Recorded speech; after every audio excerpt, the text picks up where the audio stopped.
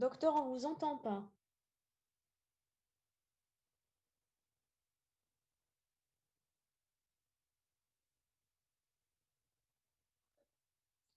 Non, Manish, c'est moi non plus.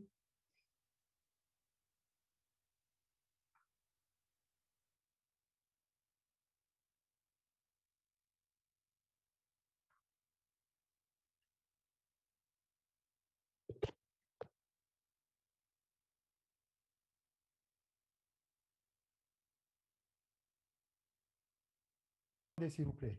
Oui. Très bien. Donc, bonsoir tout le monde. Euh, tout d'abord, je remercie votre, euh, votre déléguée. Elle, donc, elle est efficace. Donc, elle a pu organiser cette réunion. Alors, le, donc, le cours. Alors, le cours d'aujourd'hui, donc, c'est que donc c'est le cours du, de mon collègue, le professeur. Oui. Euh, avant de commencer, le, la réunion dure environ 40 minutes. Donc, à renouveler. Alors, très bien. Donc, je vais. Alors, alors c'est bien de m'avoir informé. Donc, il est donc 16h10. Euh, donc, attends, je vais mettre. Alors, je vais mettre. Euh, donc, il est 16h10. très bien. Une demi-heure parce que déjà 10 minutes écoulées. Donc, il nous reste une demi-heure, Adamakan. Oui, mais c'est renouvelable. Je vais organiser une autre euh, vite fait. D'accord, très bien. Alors, donc, les fractures de l'avant-bras, c'est des fractures qui siègent à plus de 2 cm donc de la tuberosité euh, donc, euh, donc bicipitale, c'est ça la tuberosité bicipitale, et jusqu'à 4 cm, donc euh, jusqu'à 4 cm au-dessus de l'interligne radiocarpia. Donc, d'abord, il faut définir le siège de ces fractures. Donc, le siège en proximal, c'est donc elles vont de la tuberosité bicipitale, et en distal, c'est 4 cm au-dessus de l'interligne radiocarpia. Donc, c'est à 4 cm de cette interligne. Alors, ces fractures des deux os de l'avant-bras, elles sont très fréquentes chez l'enfant. Donc, euh, donc, on est, donc, euh, donc c'est, l'une des fractures les plus fréquentes chez l'enfant. Elles peuvent toucher les deux os de euh, l'avant-bras, donc à la fois, ou bien elles peuvent toucher un seul os.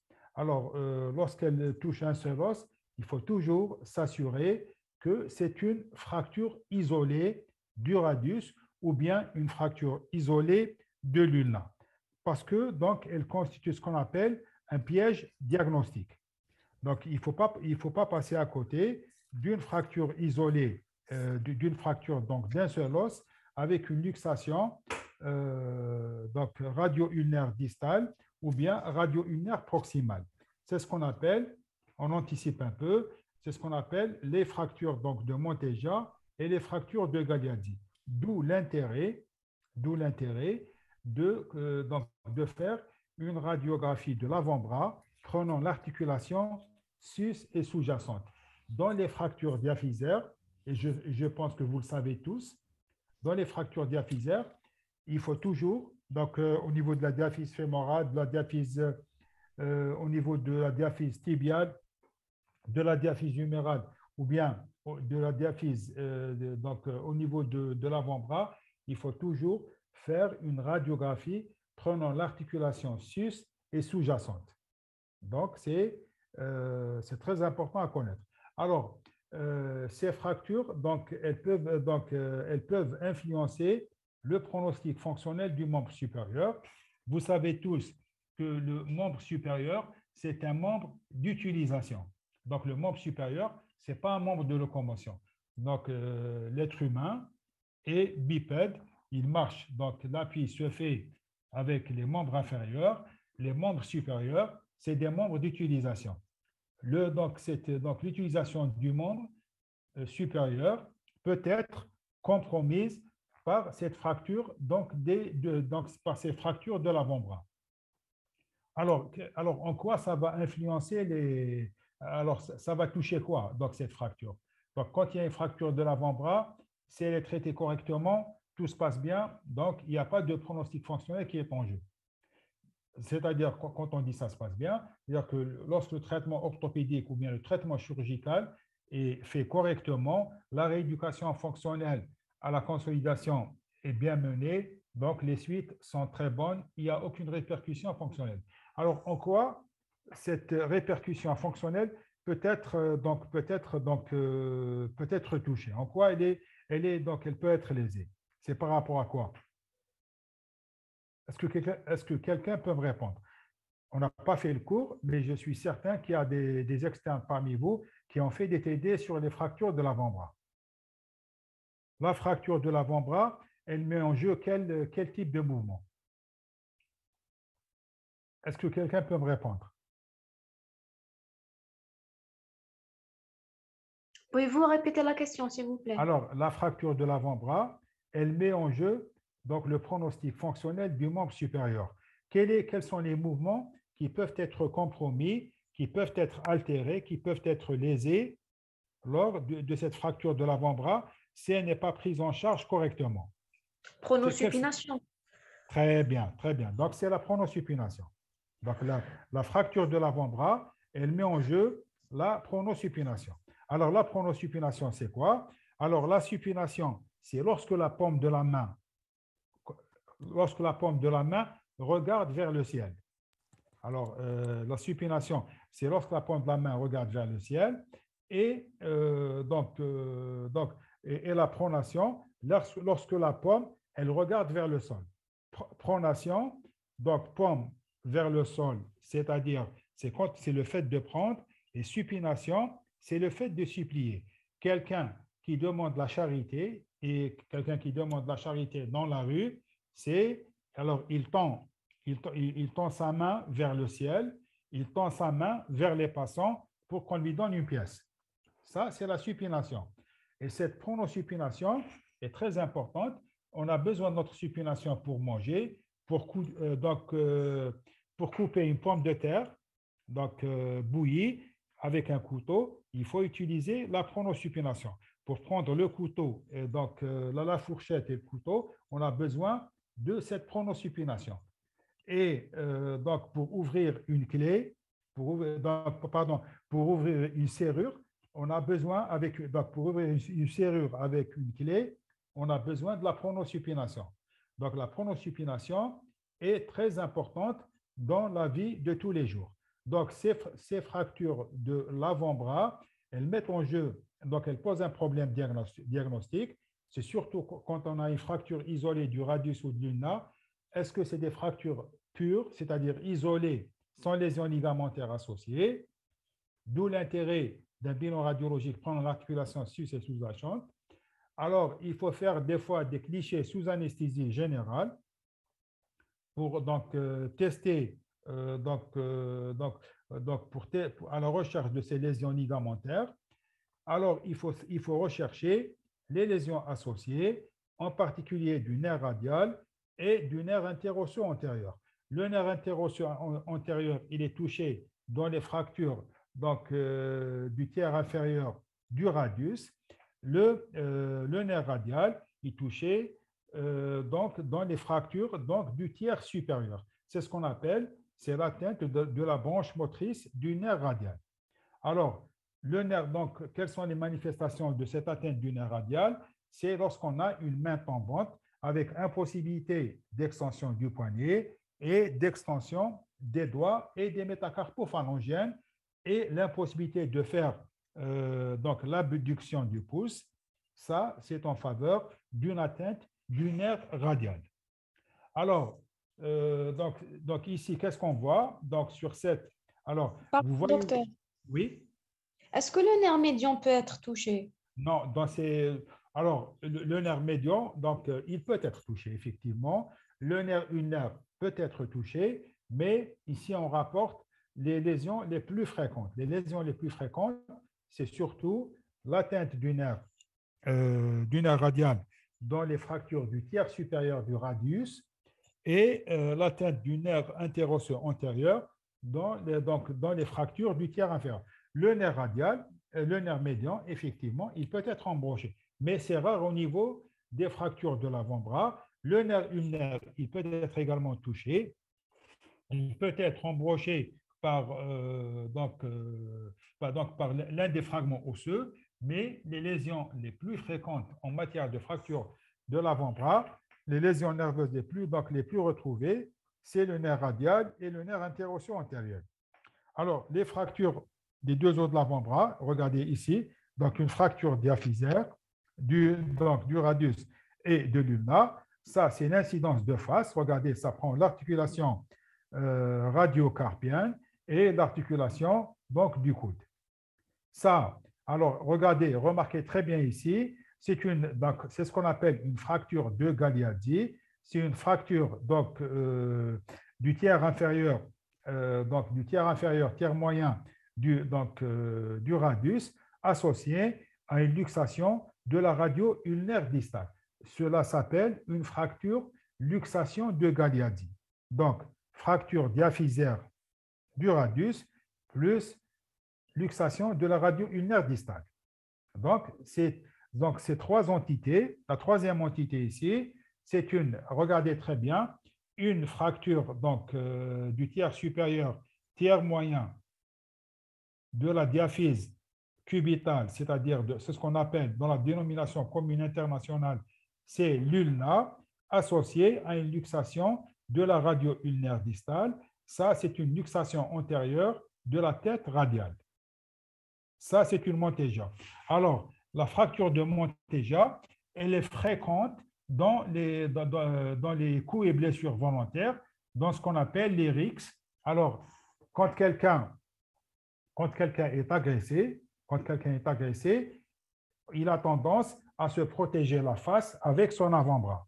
Quand quelqu'un est agressé avec une barre de fer ou bien un objet contendant, il a tendance à protéger sa face avec l'avant-bras et euh, donc le choc est reçu par euh, donc l'avant-bras. Donc, suite à un choc, donc on aura une fracture donc, de la diaphyse ulnaire associée à une luxation de la tête radiale. Donc, retenez très bien, ça c'est à retenir par cœur. Docteur. Alors, oui, oui, oui, je vous écoute. Anna Docteur. Oui, oui, oui, je vous écoute.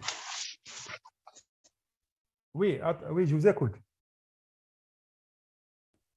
Oui, oui, mademoiselle.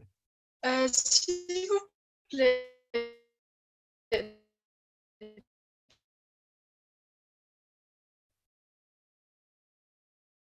Je vous entends mal, mademoiselle. Hein.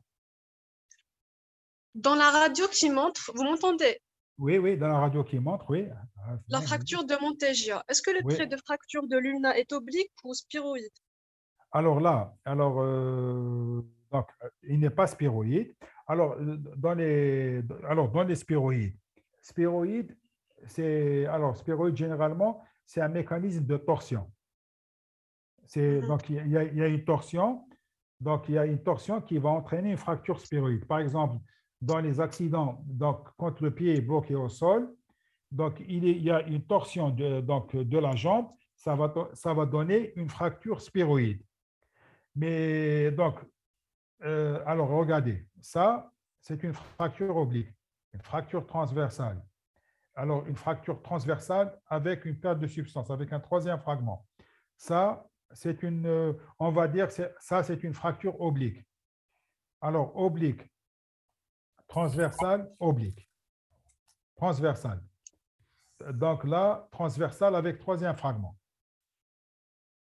Donc, D'accord, merci. Une spire, le trait de fracture, donc il, est, donc il décrit une spire, il est lent.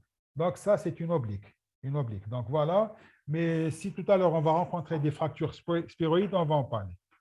D'accord. Alors, alors, la membrane interosseuse, alors, alors donc, euh, quels sont les critères de la pronosupination Alors, euh, les critères, donc, on va les voir tout à l'heure.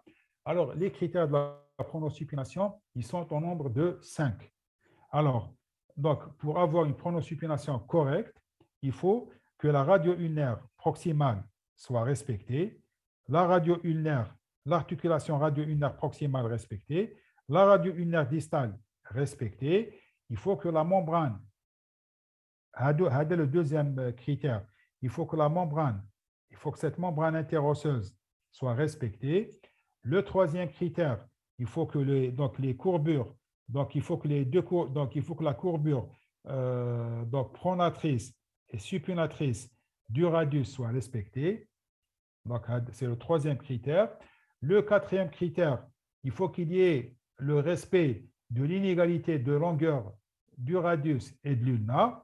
Alors, le radius, il est plus long que l'ulna, il descend plus bas que l'ulna. Il faut que l'index radio-ulnaire, euh, il faut que l'inégalité de longueur radio-ulnaire, euh, donc radio-ulnaire, donc euh, soit respectée. Et le cinquième critère de la pronosupination, on va les voir tout à l'heure sur une diapo. Le cinquième critère, c'est le respect de l'axe de rotation de l'avant-bras. Alors, l'axe de rotation de l'avant-bras, l'avant-bras, il tourne autour d'un axe et cet axe passe par la tête radiale. Voilà, donc l'avant-bras, donc l'axe de rotation, il passe par la tête radiale et l'articulation radio-ulnaire distale. Alors, dans cette position, dans cette position, c'est une position de supination.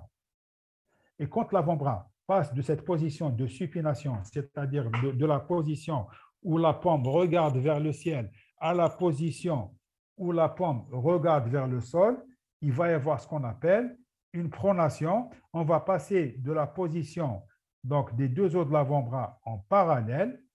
On va passer de la position de l'avant-bras en parallèle à une position des deux os de l'avant-bras croisés.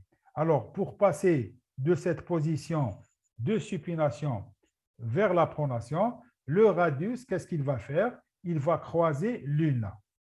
L'ulna, retenez ça très bien, l'ulna est un os qui est droit. Il n'a pas de courbure. Par contre, le radius est un os qui a deux courbures. Donc, il a, euh, M. Capondi, Monsieur Capondi a assimilé le radius à une manivelle. Donc, il a deux courbures et le fait que le radius a deux courbures, ça va lui permettre de croiser l'ulna. Donc, voilà. Alors, la membrane interosseuse, elle a un rôle très important. Elle va limiter cette membrane interosseuse qu'on voit ici, cette membrane interosseuse. Elle va limiter la migration proximale du radius. Donc, elle va permettre d'attirer le radius vers l'ulna grâce à cette bande centrale. Donc, elle empêche la migration proximale. Elle, elle va attirer le radius vers l'ulna et elle va stabiliser la radio-ulnaire distale. Donc, c'est ça le rôle physiologique de la membrane interosseuse. Alors, quand cette membrane interosseuse, on va le voir tout à l'heure, lorsqu'elle est lésée par le traumatisme ou lorsqu'elle est, elle est lésée par, euh, donc, euh, chirurgicalement lors du traitement chirurgical des deux os de l'avant-bras, cette membrane interosseuse, elle va, donc, euh, cette membrane interosseuse, elle, elle, elle, va se calcifier, elle va former des calcifications. Il y aura des calcifications en son sein. Donc, donc, il y a des calcifications qui vont se former. Il va y avoir un pont osseux entre le radius et l'ulna qui est préjudiciable à la pronosupination. Il va y avoir ce qu'on appelle l'une des complications des fractures de l'avant-bras, c'est la synostose, c'est les synostoses radio-ulnaires. Une synostose, c'est un pont osseux entre deux os. Alors, euh, on définit ce qu'on appelle euh, le cadre antébrachial. Alors, la, membrane interosseuse joue un rôle mécanique essentiel. Elle permet la stabilité de l'avant-bras et donc elle a un rôle, comme on vient de le dire tout à l'heure, c'est l'un des critères de la pronosupination. Pour que cette, donc pronosupination puisse se faire correctement, il faut que cette membrane interosseuse qu'on voit ici sur ces illustrations, il faut qu'elle soit indemne. Voilà. Regardez très bien. Là, c'est une position de supination. Ça, c'est une position neutre. Et cette position des, euh, du radius qui croise l'ulna, le radius, regardez, il a deux courbures. Cette position, donc, euh, donc, donc, donc si j'ai bien compris, donc on va s'arrêter dans 10 minutes. Euh, mademoiselle Tahmouch. Oui, donc on va. Hein, dans 10 minutes, donc vous, donc vous renouvelez le. donc vous m'envoyez un autre lien. Oui, oui, il est déjà prêt. ah, très bien.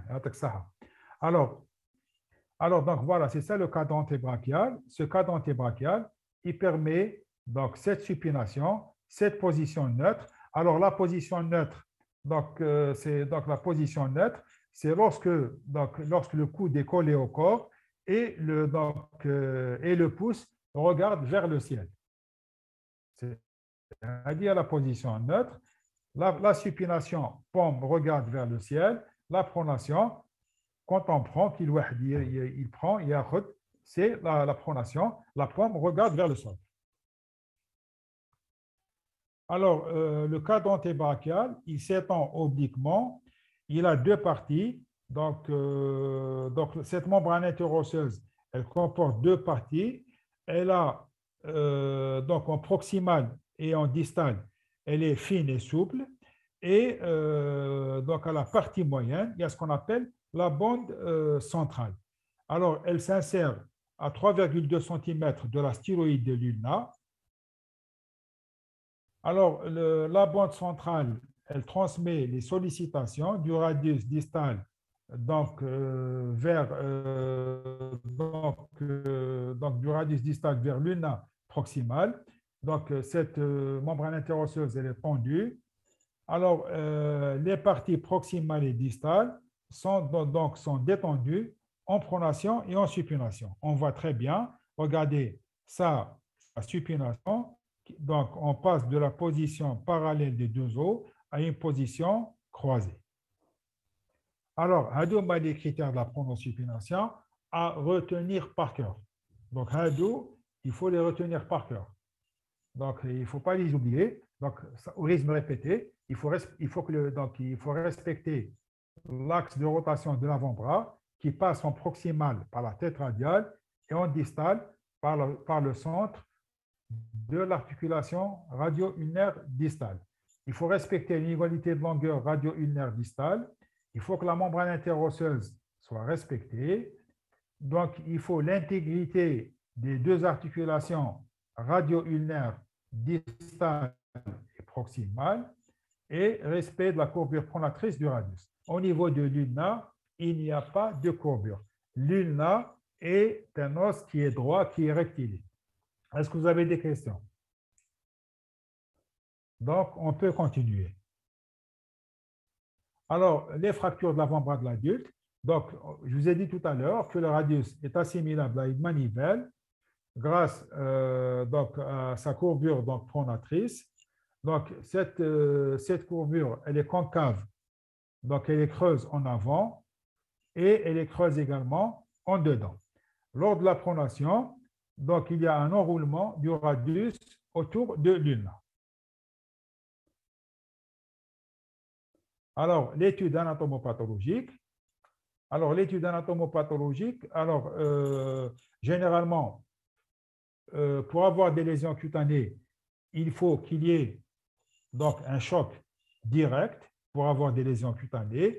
Les fractures de l'avant-bras, retenez très bien aussi, donc c'est souligné en rouge elles, sont, donc, elles, sont, elles font suite à un choc indirect.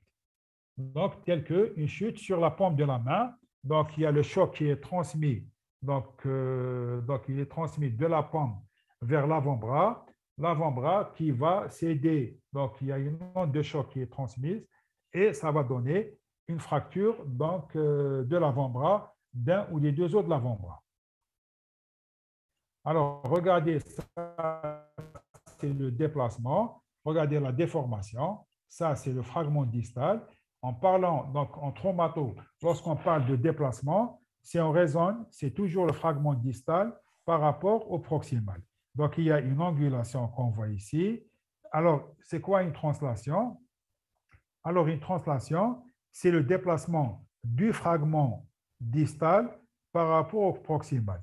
Le chevauchement, c'est une translation mais le fragment distal est ascensionné par rapport, le, donc le, chevauchement, c'est lorsque le fragment distal, il est non seulement translaté, il est, non seulement déplacé latéralement, donc euh, d'un côté ou de l'autre, mais il va être ascensionné. Le fait que le fragment distal soit ascensionné par rapport au proximal, ça va nous ramener à dire qu'il y a un chevauchement. Alors, alors quel est le déplacement? Alors, alors, quel est le déplacement le plus grave en traumato? Alors, alors, les déplacements, alors il y a le diastasis, c'est l'écart interfragmentaire. donc, c'est l'écart interfragmentaire, c'est ce qu'on appelle le diastasis. Il y a la translation, c'est le déplacement du fragment distal par rapport au proximal. Alors, euh, on peut avoir le chevauchement, on peut avoir un chevauchement, on peut avoir également euh, donc, euh, une déformation en baïonnette, on peut avoir donc ce qu'on appelle le décalage. Le décalage, c'est la rotation du fragment distal par rapport au proximal. Alors, qui c'est qui peut me dire? Quel est le déplacement le plus grave en traumato Le décalage. Voilà, c'est le décalage c'est la rotation, comme on le voit ici. Regardez, regardez ici. Regardez, suivez cette flèche. Il y a une rotation du fragment distal par rapport au proximal. Alors, euh, donc, alors ce décalage, il dépend de l'action des muscles en fonction du siège de la fracture. Alors, en proximal, ce qui est prédominant proximal, c'est les muscles, c'est les supinateurs. En distal, c'est les pronateurs. Si maintenant, dans les, dans les fractures du tiers supérieur du radius, le fragment supérieur est en supination et l'inférieur est en pronation. Maintenant, si le trait de fracture est plus bas, le décalage, le décalage il est moindre. Au tiers moyen, alors le tiers moyen, donc, euh, alors quand on a une fracture du tiers moyen, comme c'est le cas ici, le fragment qui porte l'insertion des supinateurs, et donc celui qui comporte donc les antagonistes supinateurs et pronateurs, il n'y a aucune rotation. Alors, le fragment distal, au niveau du fragment distal, c'est surtout donc les pronateurs, particulièrement le carré pronateur. Le carré pronateur, donc il va cravater donc, euh, donc le quart inférieur des deux autres de l'avant-bras. Donc il va donc euh, donc, va s'étendre de l'ulna vers, euh, vers le radius. Donc, et le fait qu'il soit, donc, soit prédominant à ce niveau, donc, le fragment dans les, dans les, fractures du tiers moyen, le, donc, le fragment distal, il va se mettre en pronation. Donc, cette position donc, des fragments, elle dépend, donc, donc, elle dépend donc, du siège du trait et de l'insertion des muscles. En proximal, on a les supinateurs et en distal, surtout, c'est les, les muscles pronateurs. Alors, euh, alors la donc, concernant la supination, alors, donc, il est assuré euh, donc, par les muscles donc, supinateur et le muscle brachio-radial. Alors, le, le long biceps, alors, le Docteur, pardon, ça va se couper à tout moment. Oui, mais pas de problème. Si ça... Alors, on va continuer. C'est comme le forfait à le téléphone. Comme on a on va... le deuxième lien en tout cas. Ah, très bien. Alors, donc, merci beaucoup. Alors, la supination. Donc, le, alors, regardez ici. Le, le, le, le, biceps, il va permettre de fléchir l'avant-bras sur le bras. Et le muscle qui va nous permettre, le, nerf, donc, qui va énerver le tendon lombiceps, donc le, donc le, nerf, c'est le nerf musculo-cutané. Alors, euh, concernant la pronation, la pronation est assurée par, euh, les muscles pronateurs innervés par le nerf médian. donc, le, donc, carré pronateur qui s'insère euh, euh, en distal, donc est innervé par le, le nerf médian.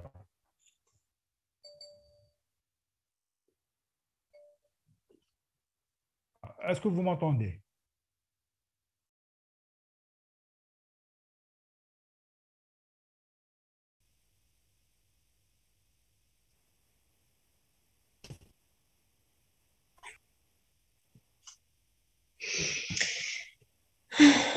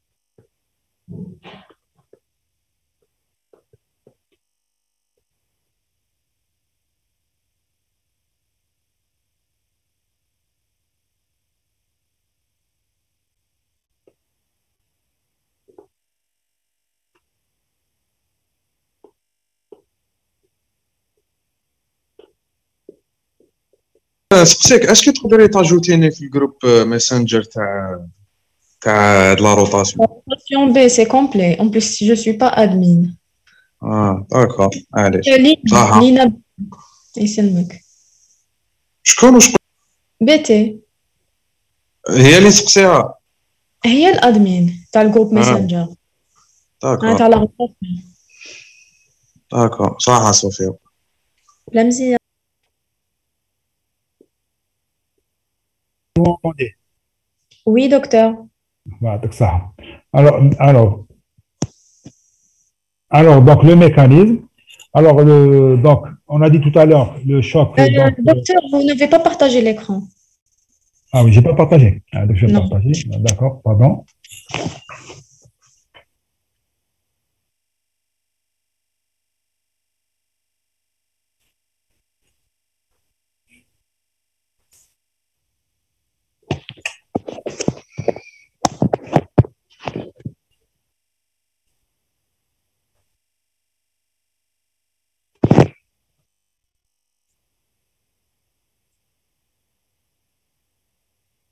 Docteur, tu fais de la réunion ou je crée un autre lien euh, Je pense que tu fais, hein, parce qu'on a avancé. Le cours, euh, bah, c'est, je fais le cours, il y a des cours qui sont pas longs. Machine, hmm. euh, c'est pas que je l'ai. Alors, euh, pour vous dire, hein, je, je, je, ne veux pas rentrer dans les, dans les détails. As alors, as par exemple, je prends la classification de bas dans les fractures de Montéja. Pour, euh, pour un externe, moi, je donne, je, je vous explique ce que c'est qu'une Montéja, ce que c'est qu'une Galiardie. On, on va parler d'autres entités, mais je ne, je ne vais pas prendre une entité, une entité par exemple, comme, comme la Montéja, et rentrer dans des détails moi, l'essentiel, c'est la compréhension du cours. Ce que c'est que la pronosupination, les différents traitements. Donc, avant le traitement, c'est les mécanismes, l'examen clinique, ensuite le traitement, les complications. C'est ça le but du, euh, donc, du cours. Donc, c'est pas. Voilà. Est-ce que, est-ce que vous. euh, donc, euh, est-ce que l'écran est partagé comme ça? Euh, ça commence à... Oui, c'est bon. C'est bon. Mm.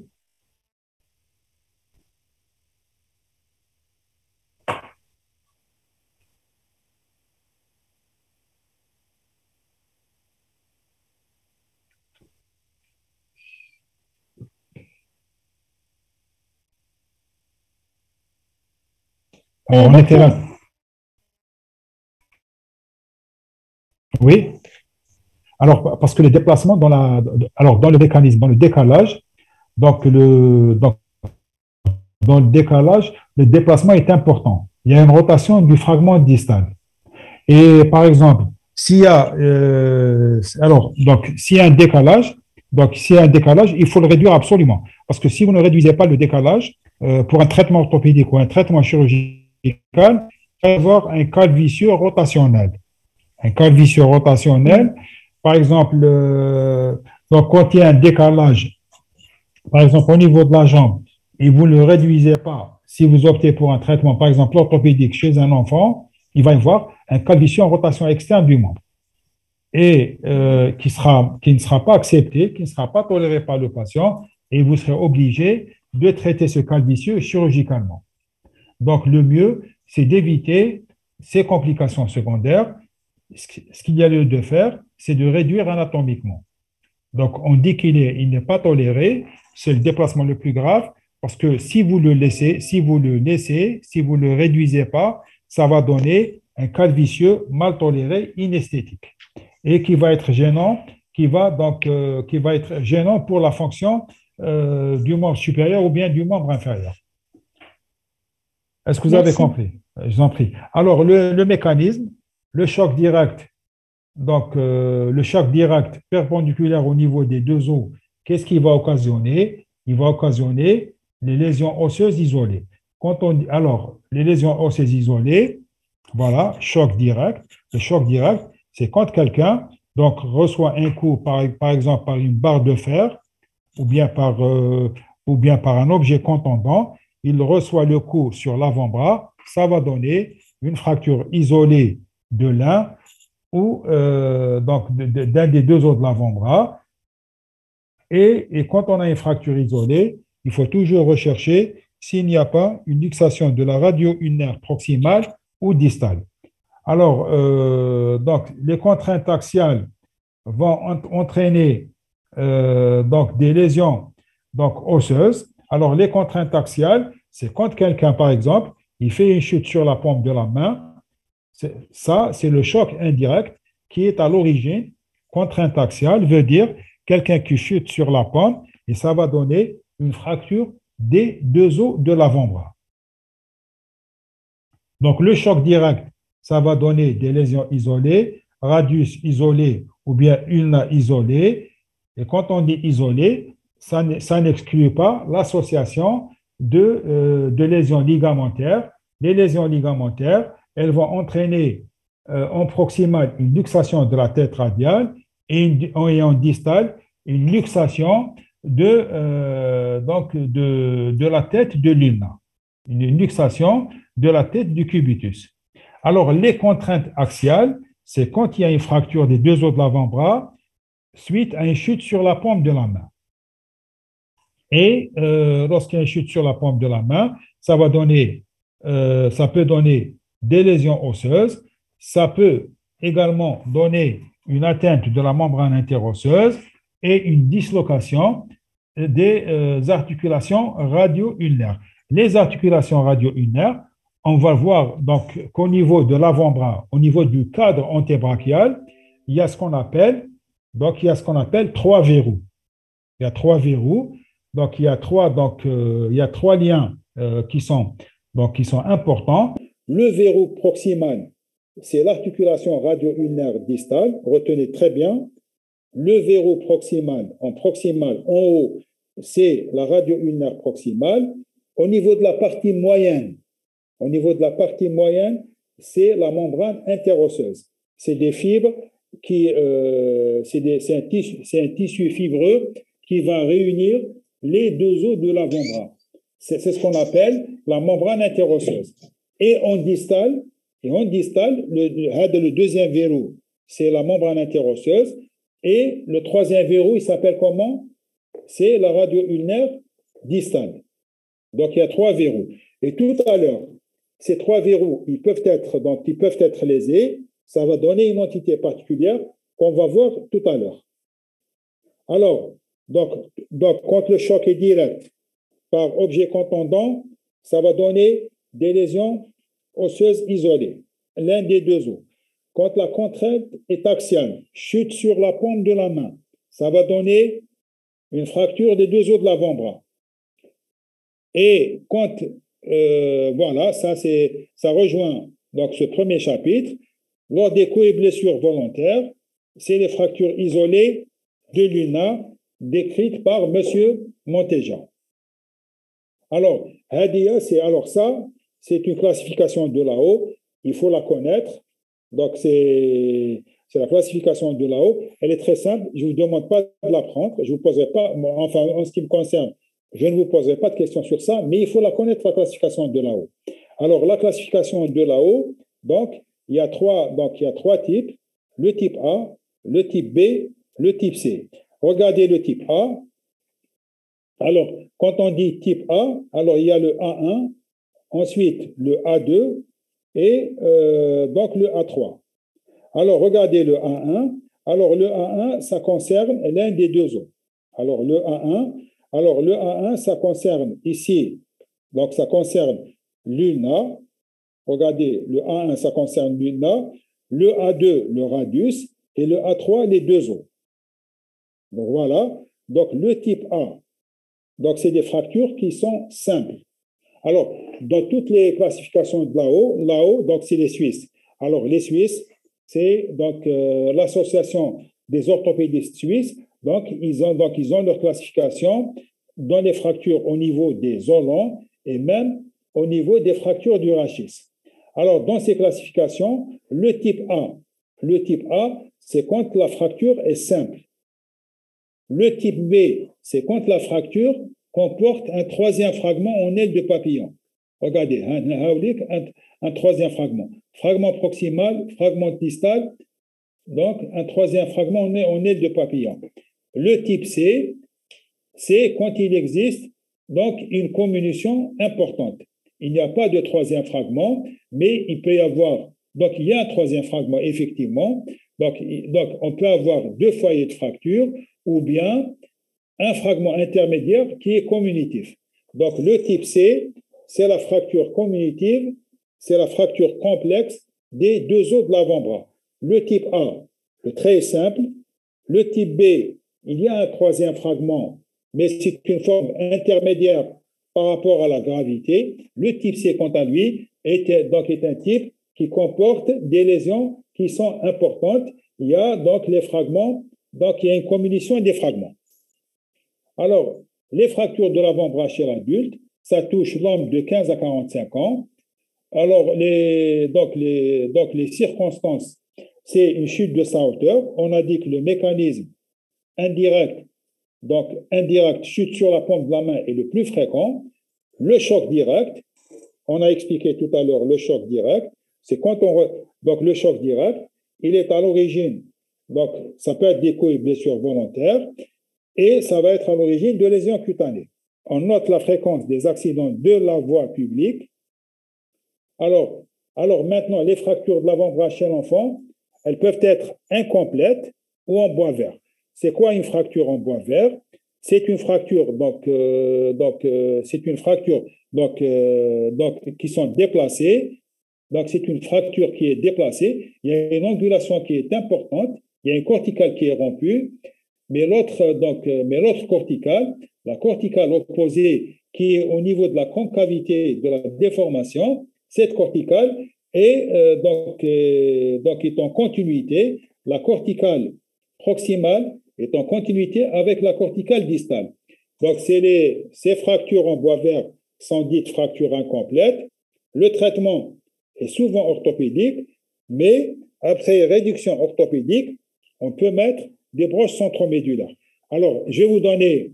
Alors, quel est l'avantage de mettre des broches centromédulaires d'après vous? Est-ce que quelqu'un peut me répondre? Alors, ici, on est en droit de mettre un plâtre. De, un plâtre. Alors, ça, ça, s'appelle comment ce plâtre? Euh, brachio. brachio, très bien, Zédé. BABP, circulaire. Eh, Brachio, antébrachial, BAP. Est-ce qu'on a le droit de mettre ça chez un enfant? Est-ce que c'est autorisé? Donc, c'est interdit. Pourquoi? Il y a le risque de syndrome de Volkmann. Le syndrome de Volkmann. Donc, il y a un risque de syndrome de Volkmann. Donc, là, ce qu'il y a de 2 mètres, donc normalement, on devrait mettre ici une croix rouge. Donc, interdiction de mettre, donc interdiction de mettre un plâtre circulaire. Pourquoi? Parce que ça va donner un syndrome de Volkmann. Alors, l'avantage, alors chez, l'enfant, il y a ce qu'on appelle les fractures à répétition, les fractures itératives. Pour éviter, donc surtout si, c'est un patient qui, euh, qui habite en milieu rural, ou bien où le contrôle, euh, où les contrôles euh, donc, cliniques et radiologiques ne vont, ne vont pas être simples, on est en droit de mettre des brosses centromédulaires. Mais là, on, est, on a le droit de traiter orthopédiquement et ça marche très bien c'est une fracture donc des deux os de l'avant-bras, fracture du quart des deux os de l'avant-bras. Là, il faut réduire et traiter par plâtre. Et l'immobilisation plâtrée dans les deux cas, dans ces deux cas, c'est une gouttière plâtrée. Une gouttière plâtrée, c'est une, plâtre, une attelle plâtrée brachio, antébrachio, palmaire. Alors, voilà, regardez, la, flèche, a été, je l'ai mise dans cette diapo. On n'a pas le droit, donc voilà le bon traitement. Le traitement orthopédique, c'est la règle pour les fractures diaphysaires chez l'enfant après réduction. Il ne faut pas mettre de plâtre circulaire. Pourquoi? Parce qu'il y a donc un risque de, compression euh, donc des éléments vasculo-nerveux et ça va donner un syndrome de Volkmann. Les signes d'alarme en urgence, c'est la cyanose de la main, perte de la mobilité des doigts.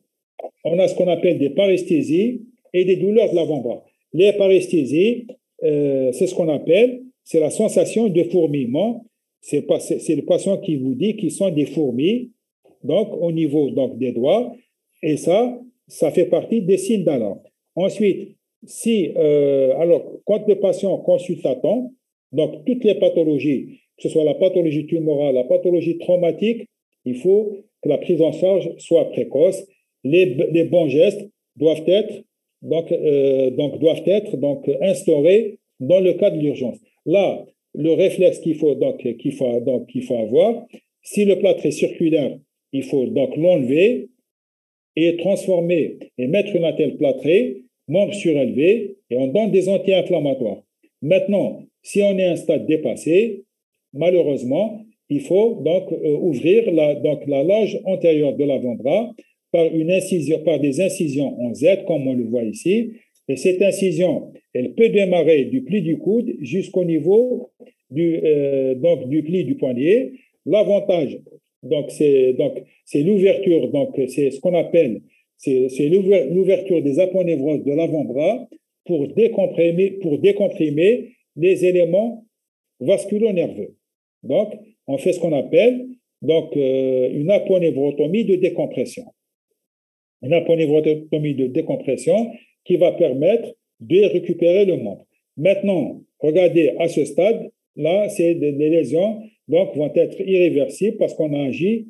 Donc, il faut faire la décompression pour éviter la nécrose tissulaire, mais les séquelles, elles vont donc elles vont pas disparaître. Alors, quand le, un syndrome de Volkmann consulte tardivement, il va y avoir donc des, donc des rétractions des fléchisseurs. Donc, les fléchisseurs, ils sont au niveau de la face antérieure de l'avant-bras. Il va y avoir une flexion du poignet, une extension des MP et une flexion des interphalangiennes. C'est ça la, donc c'est ça la main d'un syndrome de Volkmann. Flexion du poignet, hyperextension des métacarpophalangiennes et une flexion des doigts. Donc flexion des doigts et du poignet, des doigts et du poignet, et une hyperextension des métacarpophalangiennes. C'est ça, donc euh, c'est cette déformation, c'est cette main, donc de, c'est cette main paralytique qu'on va avoir lorsque le syndrome de Volkmann n'est pas pris en charge euh, donc à temps. Voilà, la contention plâtrée. Voilà, la contention plâtrée. Ça, c'est un BABP. Voilà. Donc, elle doit ménager, donc chez l'enfant, il faut, donc, il faut laisser une chambre antérieure afin d'éviter un syndrome d'éloge ou syndrome de Volkmann. Elle doit être moulée sur le sommet, sur la convexité de la déformation. Donc la, donc la réduction, elle doit se faire sous, euh, sous anesthésie. Donc, euh, donc il faut une anesthésie donc pour, donc euh, pour, donc pour faire cette donc réduction. Une fois que cette réduction est faite, donc le patient sera revu au lendemain pour, voir si le plâtre n'est pas serré et on fera donc des radiographies, donc euh, des radiographies de contrôle à la recherche d'un déplacement secondaire qui sont fréquents lorsque les fractures sont instables. Voilà, fracture de l'avant-bras avec un embrochage centromédulaire. Voilà, un embrochage centromédulaire de face, de profil, donc de face, de profil, ça, c'est l'aspect après ablation des broches. Alors, but du traitement. Alors, quels sont les buts du traitement? C'est il faut restaurer la courbure pronatrice du radius, il faut rétablir la longueur de chaque os.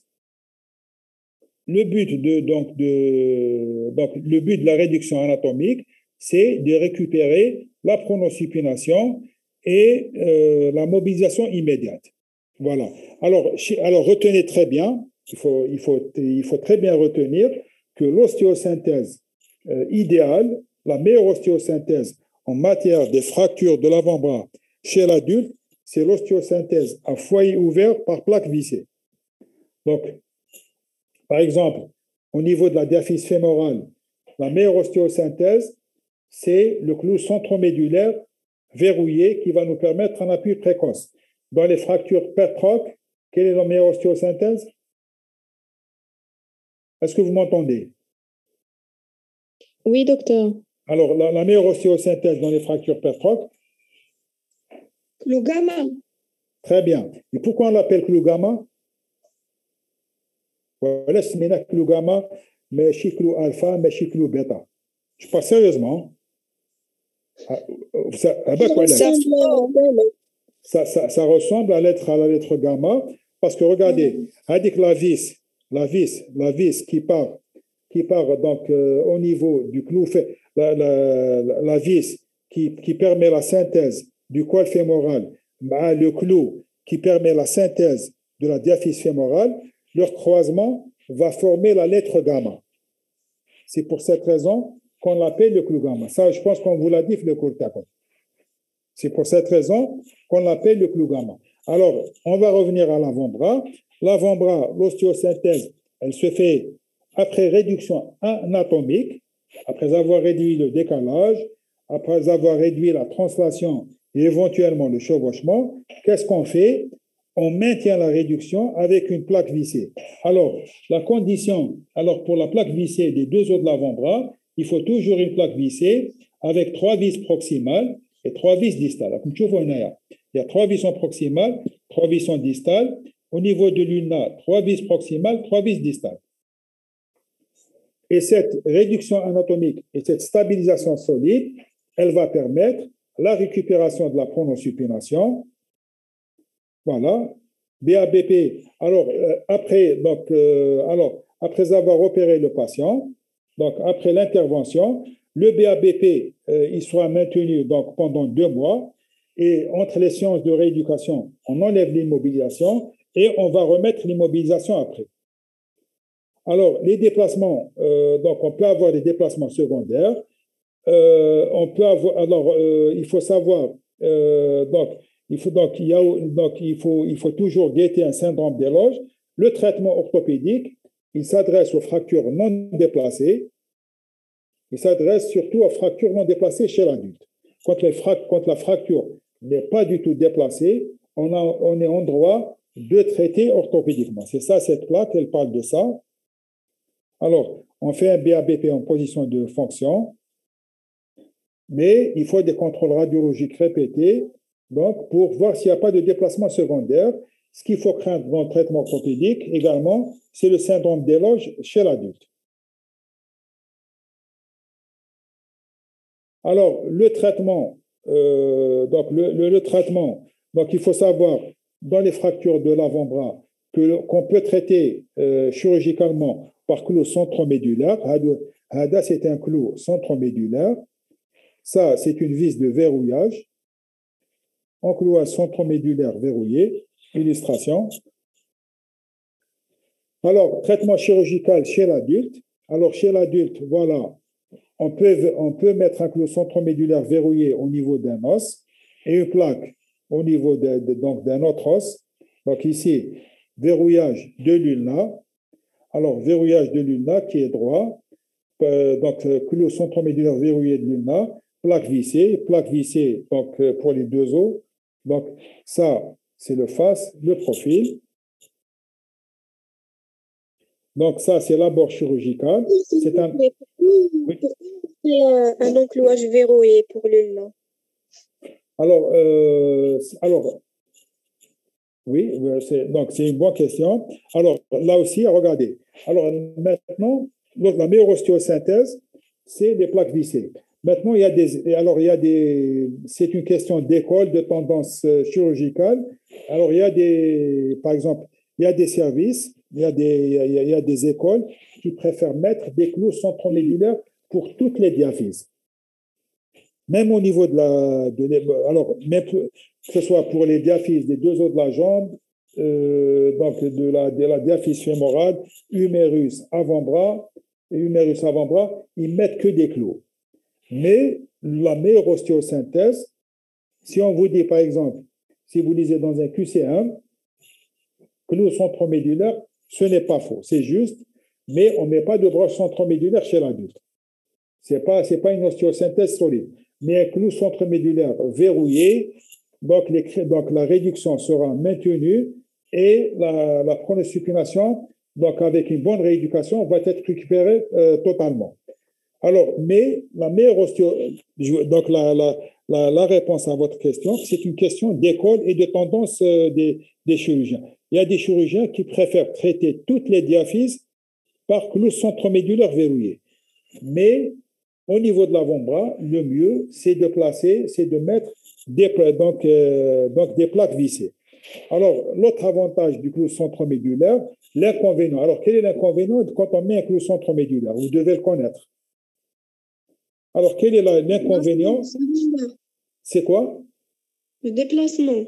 Ben, c'est le déplacement. Quand on met un clou, quand on met un clou centromédulaire, donc c'est la radiation. C'est la radiation chirurgicale. quand on met un clou, on va travailler sous amplificateur de brillance et c'est néfaste pour l'équipe soignante. On va recevoir beaucoup de rayons quand on met un clou centromédulaire. Par contre, quand on met donc, des plaques vissées à foyer ouvert, il n'y a pas de rayonnement, pas de danger pour l'équipe soignante, pour le chirurgien, pour ses aides et pour toute l'équipe soignante, pour l'équipe, donc euh, pour l'instrumentiste, pour toute l'équipe qui participe à l'intervention. Alors, l'avantage d'un clou centromédulaire, l'autre avantage, c'est le respect de l'hématome fracturaire. Cet hématome fracturaire, lorsqu'il est respecté, alors cet hématome fracturaire, il va euh, donc il va donc euh, alors on nous dit qu'il nous reste 10 minutes, Inch'Allah on va finir, c'est bientôt fini. Alors cet hématome fracturaire, il est bénéfique pour la euh, pour la consolidation osseuse. Alors alors que quand on ouvre cet hématome, il sera il sera pas respecté et la consolidation avec une, donc avec une osteosynthèse par plaque vissée, elle est plus longue qu'avec un clou centromédulaire. Avec un clou centromédulaire, la consolidation elle peut être obtenue donc au bout de, euh, au bout de six semaines, au bout de 45 jours. Par contre, quand on ouvre, quand on fait un foyer fermé et on met des plaques vissées, la consolidation, elle est plus allongée, elle est plus longue à obtenir. Voilà. Donc, donc la meilleure c'est l'avant-bras c'est la même efficacité. Le, donc, donc on a le même résultat avec un clou centromédulaire verrouillé. Pourquoi, pourquoi, euh, donc, pourquoi certains choisissent une technique par rapport à une autre? C'est, Donc, c'est par rapport, à, donc c'est, c'est, par rapport aux habitudes de chaque chirurgien.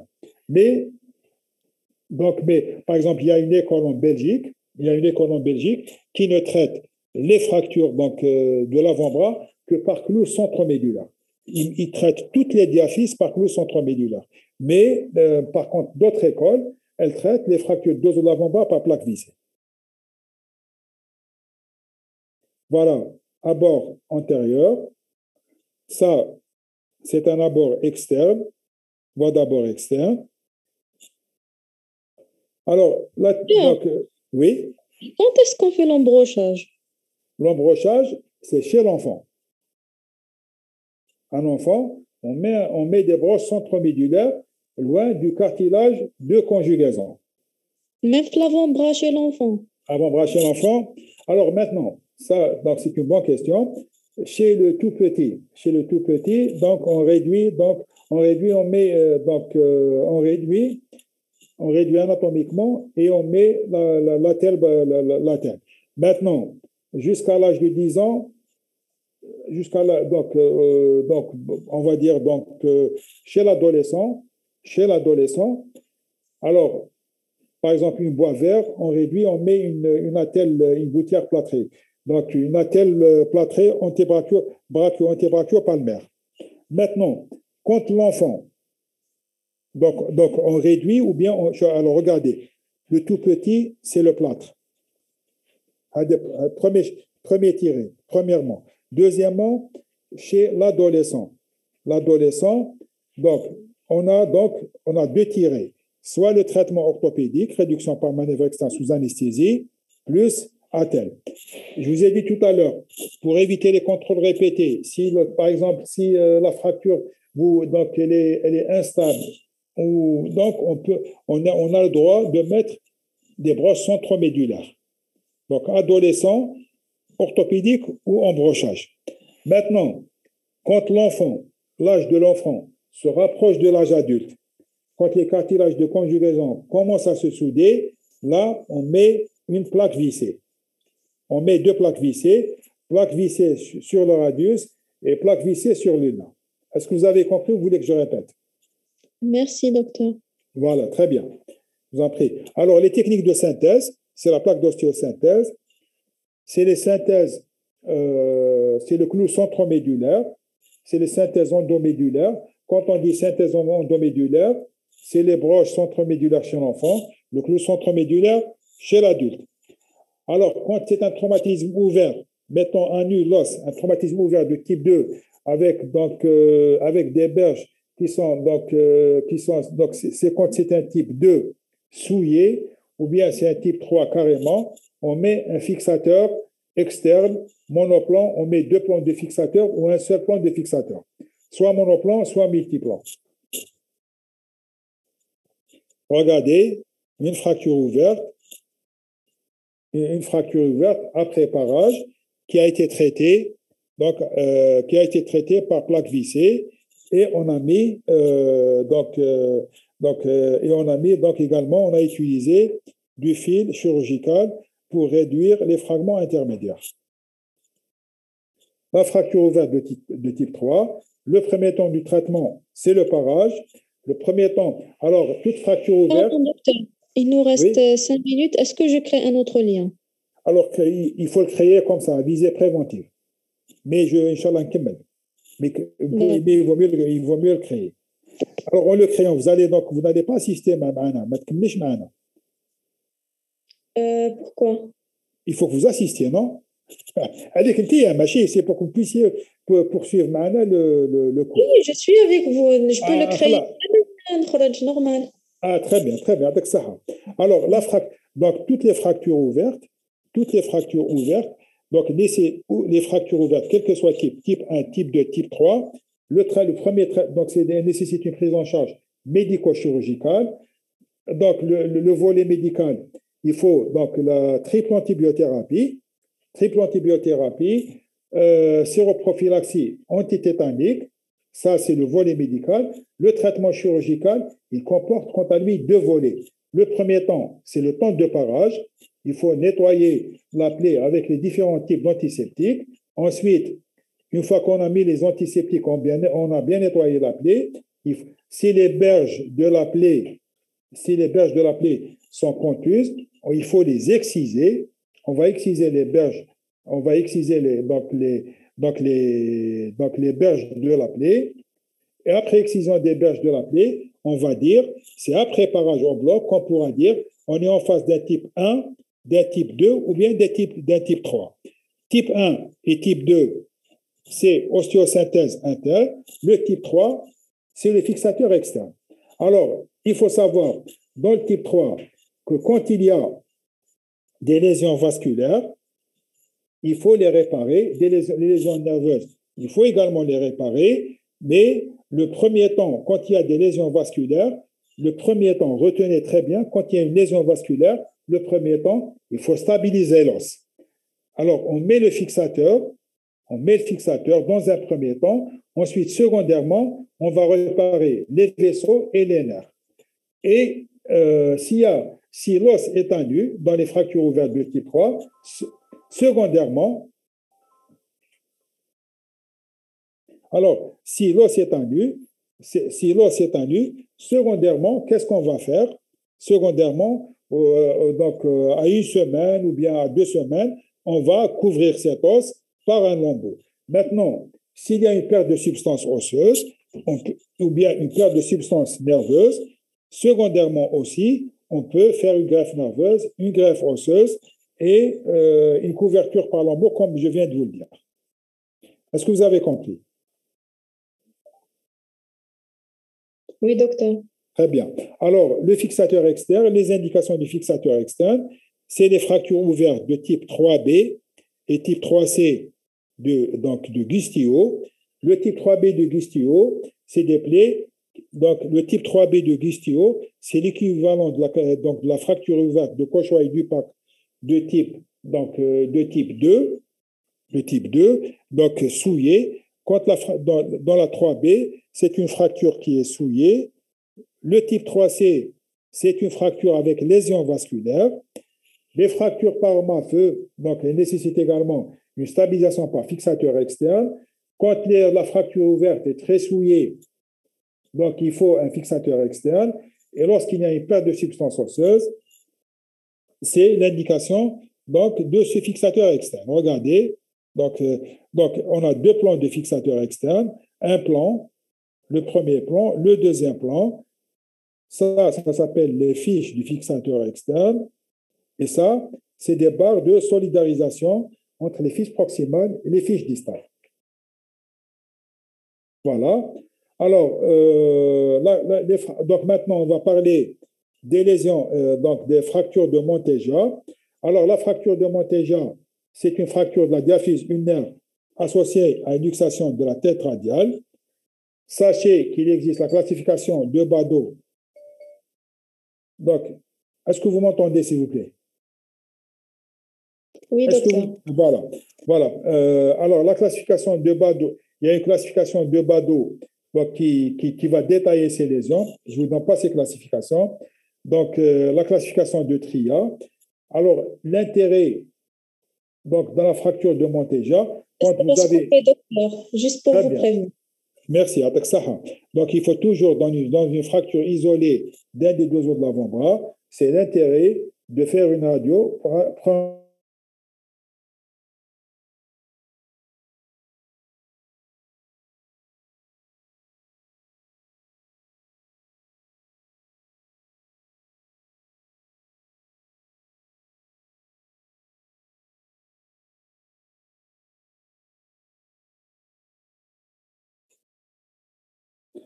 Est-ce que vous m'entendez? Oui. Comme ça, merci. Donc, il nous reste 8 planches sur les 50. Sur 50. Donc, on en a vu dans 42 planches, donc ma. Comme ça, vous allez vous reposer avant le deuxième zoom, euh, que vous allez avoir euh, à 18 heures normalement. Alors, euh, donc, ça, c'est la fracture luxation de Monteja. Alors, donc, fracture de la diaphyse une associée à une luxation de la tête radiale.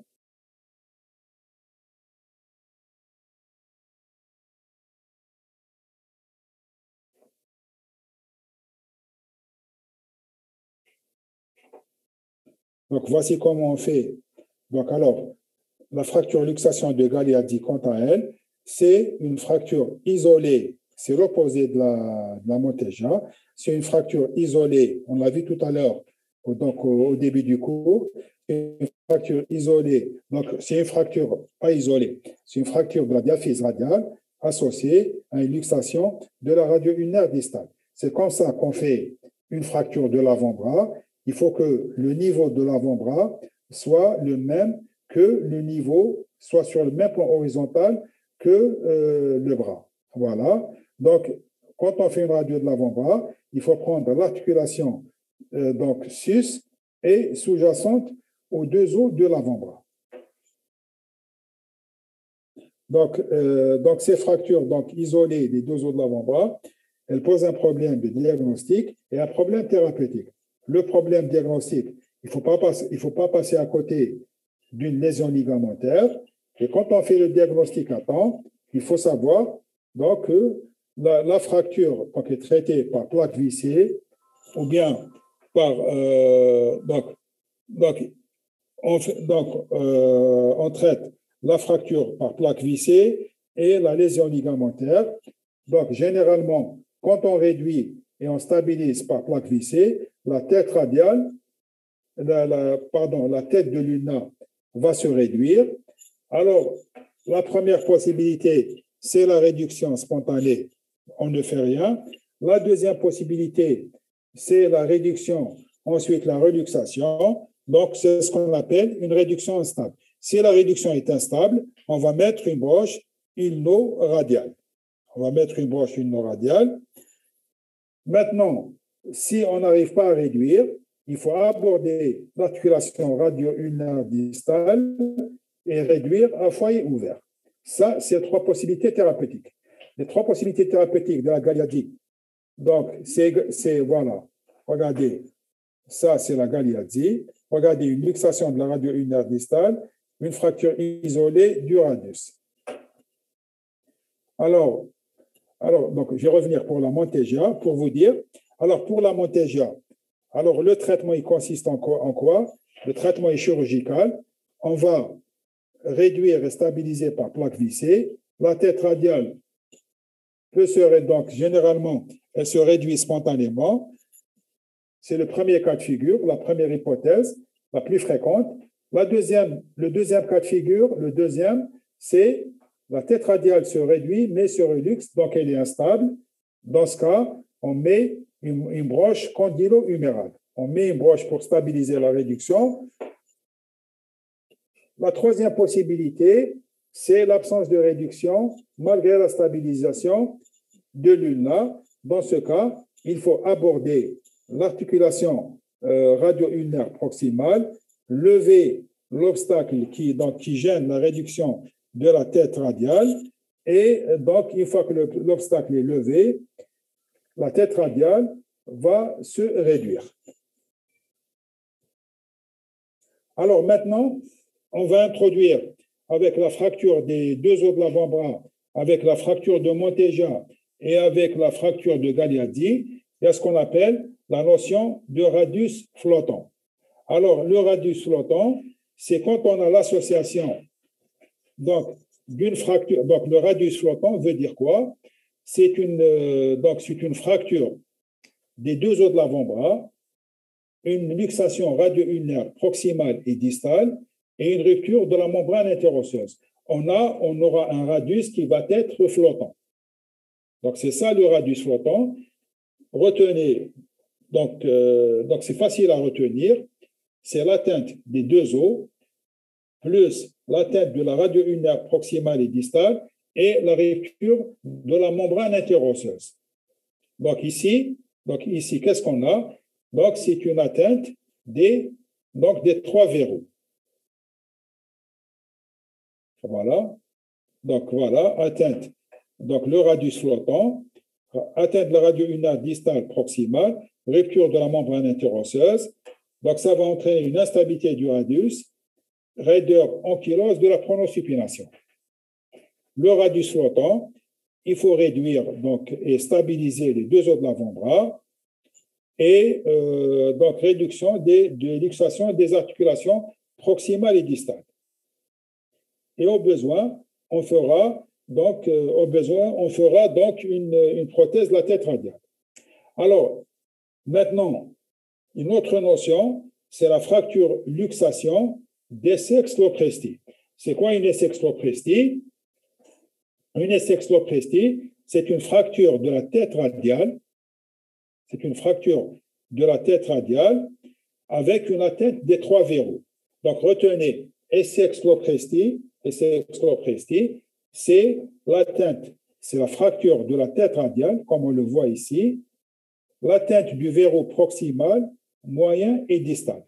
Donc, les trois verrous donc, vont, donc, euh, sont atteints, en plus d'une fracture de la tête radiale. Voilà, c'est ça l'atteinte des, des sexes l'oppression. Donc, euh, le, radius, euh, le radius flottant, deux os de l'avant-bras, membrane interosseuse. Donc, donc le, le, radius flottant, c'est l'atteinte des trois verrous. Voilà, les trois verrous sont atteints. Les trois verrous sont atteints, mais il n'y a pas deux fractures de la tête radiale. Les sextopresties, c'est les trois verrous plus l'atteinte de la tête radiale. Alors, les complications des fractures de deux os d'avant-bras, c'est le syndrome des loges. Alors, ça touche chez les sujets jeunes, donc qui sont musclés. Il faut que le traumatisme soit à haute énergie. Alors, la, donc la, la pression, elle est de 30 mm euh, de mercure au-dessus de la diastolique. Le traitement, c'est la ponévrotomie de décompression.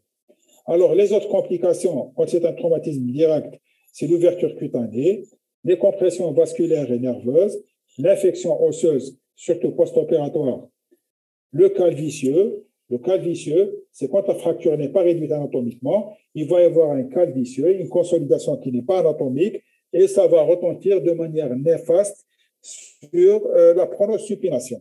On a une, une pronosupination qui sera euh, raide et incomplète. Alors, les fractures itératives, donc euh, c'est pour cette raison que quand on met donc, des plaques vissées, des plaques vissées, il faut les enlever au-delà de deux ans.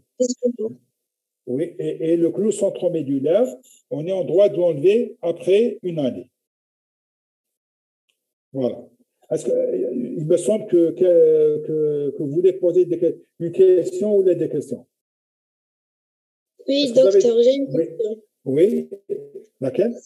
Dans le cas du syndrome de Volkmann, Oui.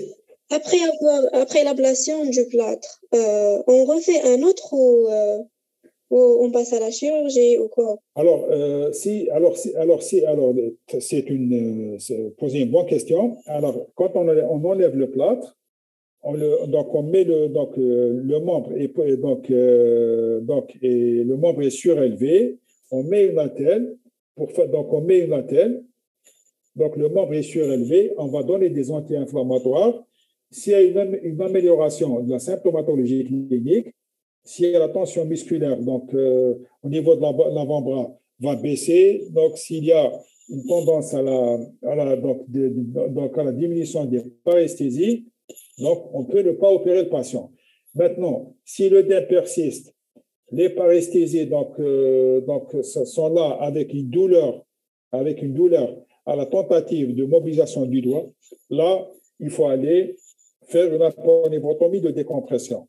Alors, c'est pour cette raison qu'on distingue le syndrome, qu'on parle de syndrome de pré-Volkmann. C'est le stade du début. Si, le- si on agit rapidement, on peut éviter la chirurgie au patient. Maintenant, si, euh, donc, si, si le patient ne consulte pas précocement, de manière euh, donc, précoce, s'il consulte, plus ou moins tardivement, c'est l'indication, c'est l'indication d'une aponeurotomie de décompression. Euh, et il faut attendre combien de temps pour la disparition des signes? Alors, c'est, il ne faut pas attendre une journée ou bien deux jours. C'est, il faut attendre quelques heures. Si la tendance est à l'amélioration des, des signes cliniques, si le patient ressent moins de douleur, moins de paresthésie, si le derme a tendance à diminuer, on continue le traitement conservateur non chirurgical. Maintenant, si la douleur persiste, malgré l'ablation du plâtre, malgré donc, la, surélévation du membre, il faut faire la décompression dans les heures qui vont suivre. Donc, il ne faut pas hésiter à faire la ponévrotomie, ça ne va rien coûter au patient. Au contraire, ça va, le, ça va lui éviter beaucoup de complications par la suite, telles que la main paralytique. Alors, les, donc, les autres complications, c'est les cas vicieux, faute de réduction anatomique, les fractures récuratives, c'est l'ablation euh, de matériel d'ostéosynthèse précocement. En cas d'atteinte de la membrane interosseuse, on a apparition de euh, de pont osseux radio-ulnaire, c'est ce qu'on appelle les synostoses radio-ulnaires. L'abseudarthrose, elle est fréquente au niveau de l'ulna. L'ulna est un os qui est mal vascularisé. Il est moins entouré de muscles par rapport au radius. L'ulna, comme l'humérus, il a tendance à la pseudarthrose. Alors, les os qui, sont, qui ont tendance à pseudarthroser, c'est l'ulna au niveau de l'avant-bras, l'humérus au niveau du bras, le quart inférieur des deux os de la, jambe-. C'est une zone qui, qui n'est pas bien enrobée de muscles, la vascularisation n'est pas importante, donc elle a tendance à la pseudarthrose, à la, à la pseudarthrose étant la non-consolidation dans les délais normaux de consolidation. C'est ça la définition d'une pseudarthrose. Alors, les, autres complications, euh, c'est la raideur du coude, la, porte- la perte de la force de l'avant-bras, la raideur du poignet, la, donc la restitution ad intégram, donc euh, la récupération intégrale, elle se voit dans deux tiers des cas. Alors, en conclusion, les fractures de l'avant-bras sont fréquentes. Il faut rétablir donc l'anatomie, la longueur du radius et de l'ulna. Il faut bloquer les rotations. La raideur de la pronosupination est fréquente. Alors, la luxation, la lésion des sexoprestis de Montegia, de Gagliardi et, la, euh, donc le, le radius flottant, donc il faut penser à ces lésions qui peuvent passer inaperçues. Le radius flottant, on ne risque pas de passer à côté d'un radius flottant, mais on risque de passer à côté d'une euh, lésion des sextoprestis et d'une fracture de fracture luxation de Gagliardi, de Gagliardi et fracture luxation de Monteja. Les complications, comme on l'a vu donc, dans les diapos donc, précédentes, elles ne sont pas exceptionnelles. Je vous remercie de votre attention et voilà, donc, c'est, donc, c'est, c'est- donc euh, je suis là si vous avez des questions. Je pense qu'on a encore le temps pour les questions.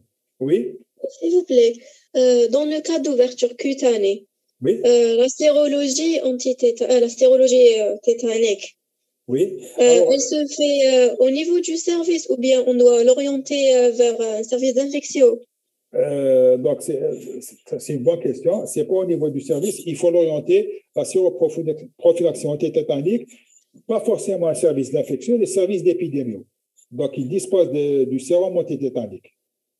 Ça peut se faire au niveau des... Mustafa, euh, il travaille euh, la nuit. Ah, il ne travaille, travaille pas. Il tra... Alors, ça, ça, vous posez une colle. Je pense qu'il ne travaille pas la nuit. Mais on le, la, nuit, ils ne travaillent pas, ils font pas. Les services d'épidémie ne font pas la garde. Bon, donc, actuellement, avec le Covid, donc, ils font la garde, mais ils font les gardes Covid. Hein. Actuellement, c'est tout le monde qui travaille. Mais à ma connaissance, les services d'épidémie ne, font pas le, ne font pas le, ils travaillent pas la nuit. Mais c'est une séroprophylaxie antitétanique. Même si, alors, si le, malade, si le malade arrive la nuit, il peut la faire le lendemain.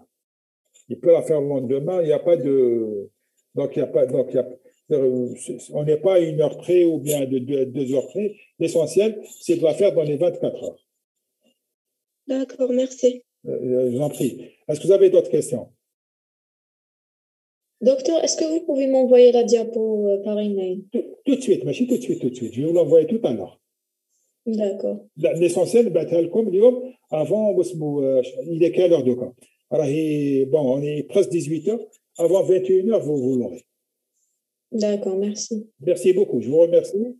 Ah, oui